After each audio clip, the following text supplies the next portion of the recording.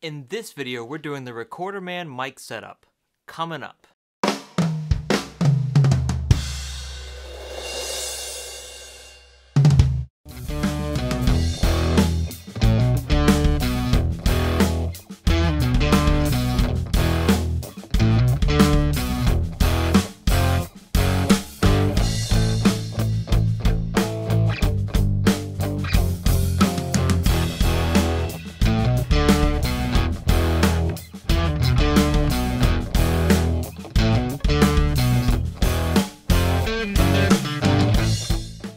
Hi, I'm Kevin Zahner, and if this is your first time to Rhythm Notes, please subscribe so we can help you level up your drumming and home recording today.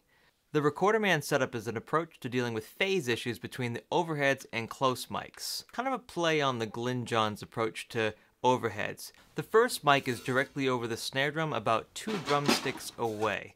The second mic goes right over the drummer's right shoulder, aiming at the bass drum beater.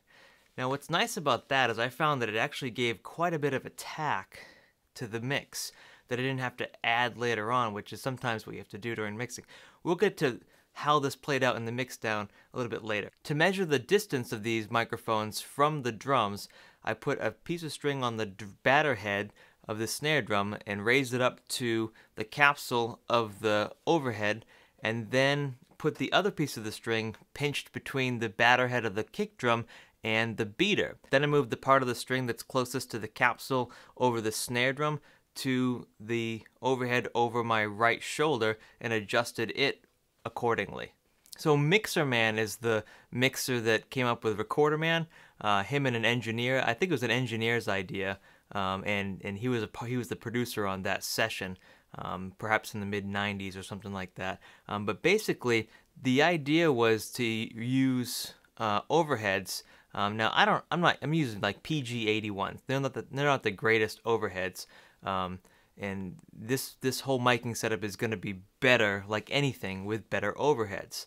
Uh, what's really nice about it though is it it puts a focus on miking drums um, in a more holistic way, as opposed to close miking everything, but to think more overhead, room mic, and then start to bring in some of the balance of the kit with the close mics as opposed to uh, slamming the close mics and then trying to like make it sound like a drum set with overheads and room mics.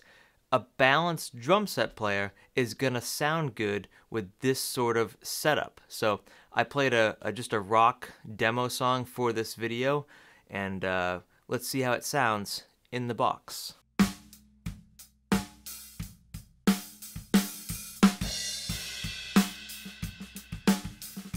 And let's see what happens when we bring in the kick.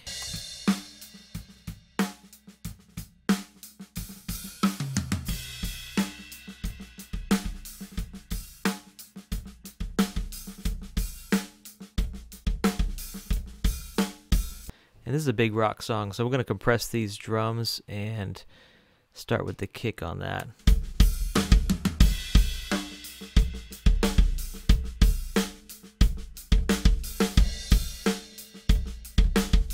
I set the release based on how often the kick drums are coming in. So I wanted to compress it. Maybe I might do a faster release, but I don't mind letting a little bit more in.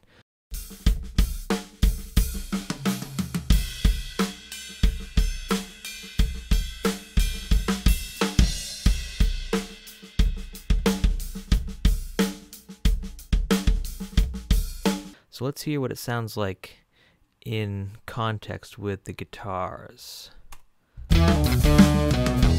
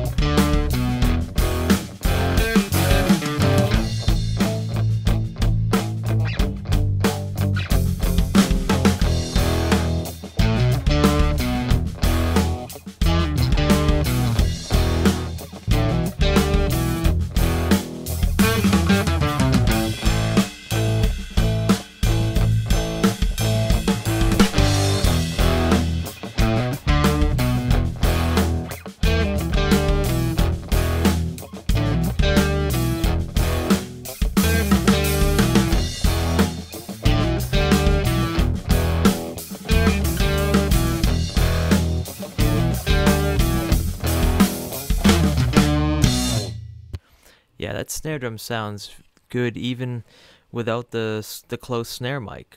So I'm a big believer in this recorderman setup for sure.